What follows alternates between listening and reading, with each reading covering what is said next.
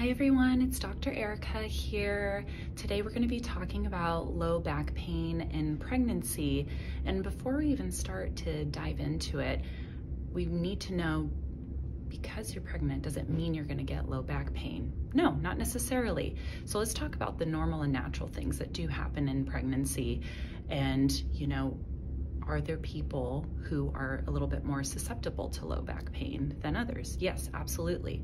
So two normal and natural things that we need to know is that for females in the lumbar spine, so in the lower back, our vertebra, our bones are actually wedged in the front to accommodate for that growing belly when you're pregnant. So if the back starts to become more and more and more arched, our spine is actually made to accommodate those forces.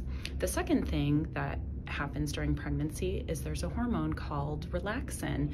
And what relaxin does is it allows for ligaments and connective tissue to become more pliable, more flexible, so that as baby is growing, your body can accommodate for that. So relaxin levels are the highest in the first trimester.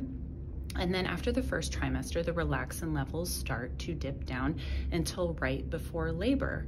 Now, the other thing to note is that a year after pregnancy, up to a year after pregnancy, residual levels of relaxin can be there. So what does that mean? For nine to 10 months, that baby is inside growing. And then up to another year, we have this hormone that is allowing all of our connective tissues to be nice and flexible. Well, during pregnancy, we have that front body expansion. So it's not so much that our spine can't manage the load. It's not that, oh, everything's just too flexible. It's that that front body expansion weakens the core, weakens that bracing around the lumbar spine. So with chiropractic treatment, some of the goals with my prenatal and then my postpartum patients is to optimize movement that um, is ever changing during the whole process. So sometimes that means uh, learning how to breathe, learning how to accommodate for changing pressure in the abdomen, um, and most definitely strengthening at home exercises uh, to help throughout the process. So, again, while uh, relaxin is a normal and natural hormone that does get released.